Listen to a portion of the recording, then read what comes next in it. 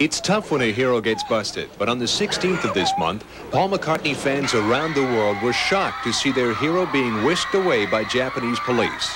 McCartney arrived in Tokyo with his wife Linda and four children and members of Wings to do an 11-concert Japanese tour. But before his fans got a chance to greet him, he was taken away to police headquarters and tossed in jail. He allegedly tried to smuggle 7.7 ounces of grass into the country. It's amazing to think that with all his experience, McCartney would attempt such a thing. But customs agents said they found the grass right in his suitcase. So the Wings tour was canceled. And now, the state-run Japanese radio stations have banned all airplay of Beatles and Wings songs. He was released on Friday and deported to England. If charged, he could have received up to seven years in jail. He's offered to reimburse the $400,000 loss by Japanese promoters. Linda was allowed to visit him in jail last Tuesday when things were still unsure and Paul's fate was undecided. Money can't buy everything, and Linda reacted the way any woman would whose husband was in jail.